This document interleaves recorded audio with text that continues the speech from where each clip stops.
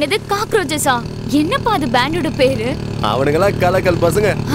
அப்படியே பாட்டு பாடி சுத்திக்கிட்டு இருப்பானுங்க. வாழ்க்கையை வாழ்றானுங்க. அவங்க வீடு எங்க இருக்கு? அந்த பர்த்டே பாய் இருந்தான்ல ரோஹன். ஆ. அவனை தவிர மத்த எல்லாருமே ஆர்ஃபனேஜ்ல ஒண்ணா வளர்ந்தவங்க தான். அங்கிருந்து வெளியே வரும்போது நம்ம சிவன் சார் இருக்கார்ல அவர் தான் கிட்ட ஒப்படைச்சார். உண்மையிலே டேலண்டான பசங்க. இப்பவே அவங்களுக்கு ஃபேன்ஸ் எல்லாம் இருக்காங்க. போறானுங்க ஒரு சவுத் இந்தியன் டூர் அடுத்த வாரம். அப்படியா? எனக்கு என்னமோ அந்த ரோஹனுக்கு ஏதோ ஒரு ஸ்பெல்லிங் மிஸ்டேக் மாதிரி தோணுது.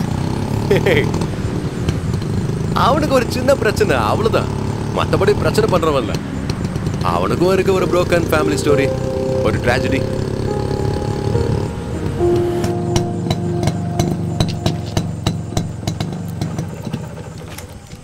அப்புறம் அந்த கீயோட பிரச்சனை என்ன? அவரோட கழுத்துல இருந்துச்சு. அவனுக்கு நம்ம பசங்க தானே? நம்ம வீட்டோட கீ தான் அது. அப்பப்ப வாங்கடான்னு சொல்லி நான் தான் அவன் கழுத்துல போட்டு விட்டேன். ஆனா கீ இல்லாத வரைக்கும் அப்பப்ப வந்துகிட்டு இருந்தானுங்க. மாட்டி விட்டதுக்கு அப்புறம் ஒருத்தனையும் இங்க காணோம். ஓகே குட் நைட் அப்புறம் நீ ரூமுக்கு கொஞ்சம் வரியா? ஒரு வேலை இருக்கு. உண்மையாவா? நீ எப்போ கூப்பிடுவேன்னு நானும் காத்துக்கிட்டே இருந்தேன். சீக்கிரமா எதோட? அதெல்லாம் ஒன்றும் இல்லை. வேற என்ன வேலை? அடிக்க வைக்கிறதா இருந்தா எனக்கு கூப்பிட்டா எனக்கு நல்லா தூக்கம் வருது. பயப்படாத அதெல்லாம் ஒன்றும் இல்லை. என்ன வேலை? வா சொல்கிறேன் சரி. சும்மா சொல்ல.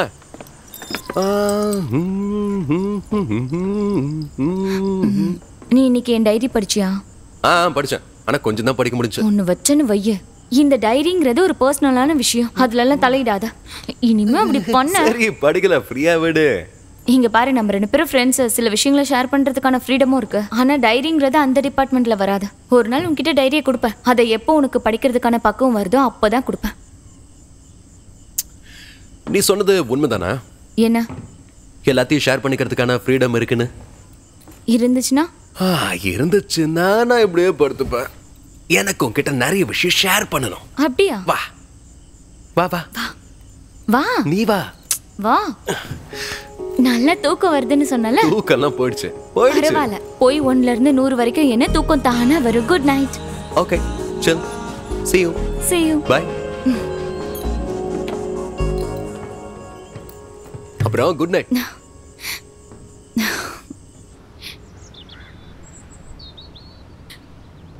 அம்மாடி அம்மா அம்மா அம்மா எந்திரிமா தம்பிக்கு என்னமோ ஆயிடுச்சுமா வந்து பாருமா வா. என்னாச்சு?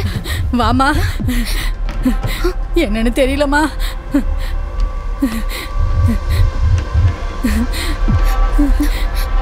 லூக்கா என்னாச்சு. லூக்கா என்னாச்சு? என்ன ஆச்சுன்னே தெரியலம்மா. திடீர்னு மயக்கம் போட்டுட்டாரு. நான் இப்போ இந்த தண்ணியை முகத்துல தெளிச்சு தான் எழுப்புனேன். என்னதான் நடந்துச்சு?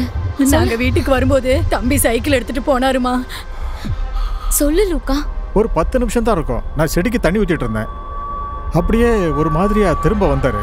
சைக்கிள் இங்க விட்டாரு. மயக்கம் போட்டு விழுந்துட்டாரு. Luca what happen are you okay ஹா இல்ல. அந்த கிரவுண்ட்ல இருக்கிற மரத்துல ஒரு ஆளு மரத்துல தூக்கு மாட்டிக்கிட்டு நாக்கெல்லாம் வெளியே தள்ளிக்கிட்டு அவரை சுத்தி நிறைய ஆளுங்க.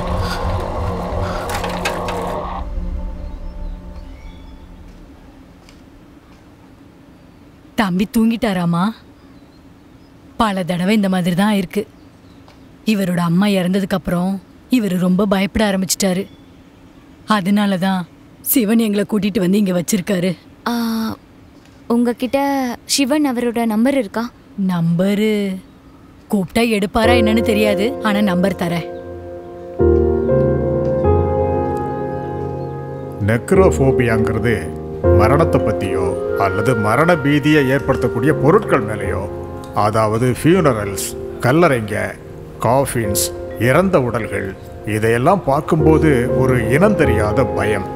சாதாரணமாக நமக்கெல்லாம் தோன்ற பயம் இருக்கு பார்த்தியா அதோட எக்ஸ்ட்ரீம் கண்டிஷன் தான் இந்த ஃபோபியா லூக்காக்கு நடந்த மாதிரி சில சமயம் நினைவு தப்பிடலாம். மூச்சு முட்டுற மாதிரி கூட தோணும். பேனிக் அட்டாக் கூட வரலாம். இதில் இருந்தெல்லாம் மனசை பின்வாங்க வைக்கிறதோ அல்லது மனசை அதில் இருந்து மாற்றி எடுக்கிறதோ அதுதான் ரொம்ப பேசிக்கான ட்ரீட்மெண்ட்ல ஒன்று அவனை அதுலேருந்து டிஸ்ட்ராக்ட் பண்ணுறதுக்காகத்தான் நான் அவனுக்கு வரையவே கற்றுக் கொடுத்தேன். கலையில் அவனுக்கு இருக்கிற எக்ஸ்ட்ரீம் இன்ட்ரெஸ்ட்டு உண்மையிலே அவனுக்கான ஒரு ட்ரீட்மெண்ட் தான். கலைகள் தான் மனுஷனுடைய மனசுக்கு ரொம்ப நல்ல தெரப்பி இட்ஸ் சயின்டிஃபிக்கலி ப்ரூவன் லூக்காவோட விஷயத்துல நாங்க அதைத்தான் பண்ணோம். கொஞ்சம் ரெக்கவர் ஆயிட்டான்னு தோணும் போது தான் அவங்க அம்மாவோட மரணம். அவர் இப்போ ஆக்சுவலாக நெக்ரோஃபோபிக் மட்டும் இல்லை தெனாட்டோஃபோபியாங்கிற ஒரு கண்டிஷனில் தான் இருக்கார். டெத் ஆன்சைட்டி மரண பயம்னு சொல்லுவாங்களே அதுதான். தன் அம்மாவோட மரணத்துக்கு அப்புறம் அவர் தனக்குள்ளேயே எங்கேயோ மரணம் ஒளிஞ்சிட்டு இருக்குன்னு நினச்சிட்டு இருக்காரு. இந்த கண்டிஷனில் இருக்கிறவங்கள மாற்றி கொண்டு வர முடியும். ஆனால் கொஞ்சம் டைம் எடுக்கும்.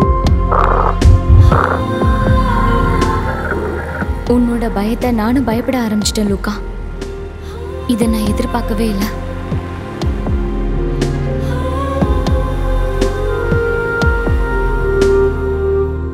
லூக்கா நீ இன்னைக்கு பண்ணது ரொம்ப தப்பு. நான் எங்கள் அம்மா கிட்ட ஷேர் பண்ணாத விஷயத்தை தான் நீ இன்னைக்கு அங்கே சொன்ன. இதை விட நீ என்னை கொண்டு இருக்கலாம் ஏ நீ போய் வண்டி எடுத்துட்டு வா நான் எங்கே நிக்கிறேன். யோ இது வந்துருச்சியா? ரோட கிராஸ் பண்ணா போதும். நான் அப்பவே சொன்னல கிட்டே பார்க் பண்ணலான்னு நீ தான் கேட்கவே இல்லை. ஆ சினிமாவுக்கும் காசு கொடுக்கணும் காரை பார்க் பண்ணவும் காசு கொடுக்கணும்னா அது சரியா வராதுல்ல. அங்க ஃப்ரீ பார்க்கிங் இருக்கு கொஞ்ச தூரம் அப்புறம் என்ன? ஐம்பது ரூபாய் பெரிய விஷயமா? பத்து சினிமா பார்க்கும்போது ஐநூறு ரூபா போதுல நம்ம இன்னைக்கு ஒன்று தானே பார்த்தோம். இனி பார்க்கலாமே. ஆ என்னால இதுக்கப்புறம் நடக்க முடியாது எனக்கு பசி எடுக்குதே அம்மா. அதான் பிரச்சனையா. சரி வா. என்ன? பசி தானே பிரச்சனை? ஃப்ரீ ஃபுட்டே இருக்கு வா. எங்க? வா. நீ என்னடா இது? எந்த இடம்? சொல்லிட்டு கூட்டிட்டு போ. வா உட்கார டே டே டேய் எந்த இடம் இது? கல்யாண பார்ட்டியா? என்ன பார்ட்டின்னு தெரியாது ஆனா எப்ப வந்தாலும் இங்க ஏதாவது ஒரு பார்ட்டி கண்டிப்பா நடக்கும். ஃப்ரீ ஃபுட்டும் கிடைக்கும் சரக்கும் கிடைக்கும். அப்படியா? சாப்பிட்டு நல்லா ஜாலியா போயிடணும். அவ்வளவுதான். எனக்கு ஒரு மாதிரி இருக்குடா. பயப்படாத நான் போய் ஃபுட் எடுத்துட்டு வரேன். இங்கே உட்காரு ரெண்டு பேருக்கான ஃபுட்டு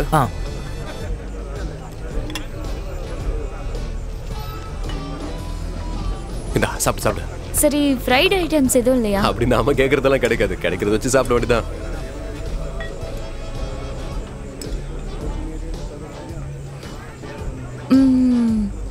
சூப்பரா இருக்கு ம் ஓகே.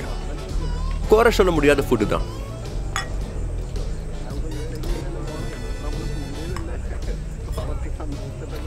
டேய் அங்கிள் அங்க நிக்கிறாரு.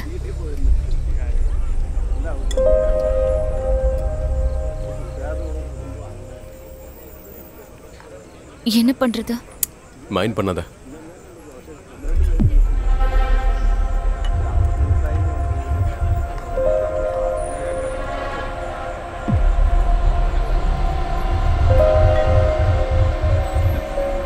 வராரு. இ- இங்கதான் வராரு. நிகா எனக்கு உங்க கூட கொஞ்சம் பேசணும். தனியா வா. இ- இ- இல்ல பரவாயில்ல. நான் போயிட்டு வந்துடுறேன்.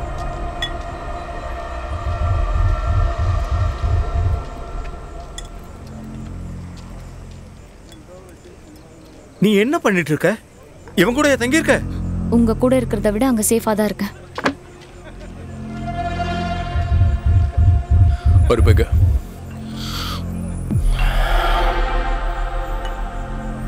நான் இது வரைக்கும் உன் வீட்டில் சொல்லல. ஏன்? சொல்ல வேண்டியதுதானே? நானும் சில விஷயங்கள் சொல்லணும். நீ எதுவும் சொல்ல மாட்ட. அது உங்களுக்கு தோன்றது. எனக்கு இப்போ உங்களை பார்த்தா பயமே இல்லை. அருவருப்பா இருக்கு. நீ அவங்ககிட்ட சொன்னியா? சொன்னா என்ன? உன்னை? விடு என்ன உன்னை என்ன பண்ண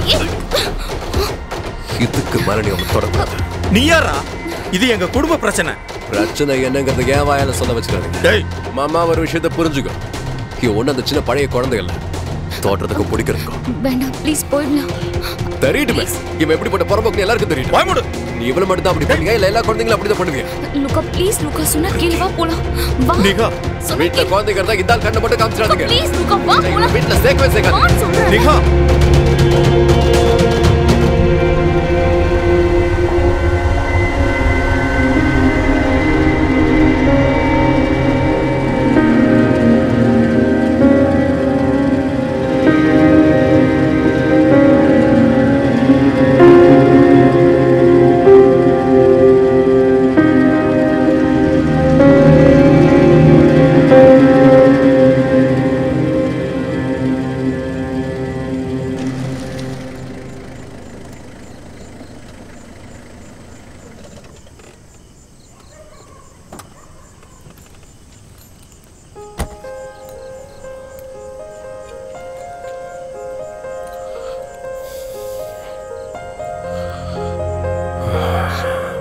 லுக்கா நீ ஒரு விஷயத்தை மட்டும் புரிஞ்சுக்கணும்.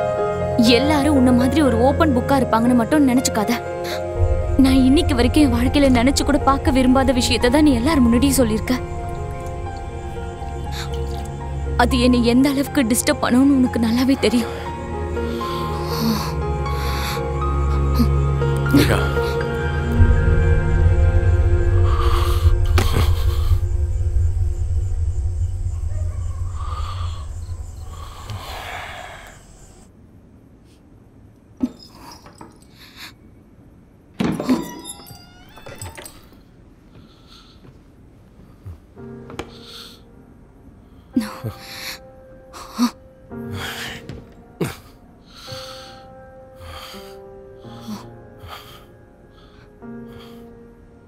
எவ்வளோ தூரம் தெரிஞ்சதுக்கப்புறம்? நீ வேணா அந்த ஆள்கிட்ட டிப்ளமேட்டிக்காக நடந்துக்கலாம் உன்னால் முடியும். சாதாரணமாக பேசிக்க கூட முடியும். ஆனால் எல்லாமே தெரிஞ்சதுக்கப்புறம் நானும் அந்த ஆள்கிட்ட அப்படி தான் நடந்துக்கணும்னு நீ எதிர்பார்க்கவே முடியாது. நீ என்ன அங்கேருந்து கூட்டு வராமல் இருந்திருந்தா? அந்தால அந்தால அடிச்சு துவம்சம் பண்ணிருப்பேன்.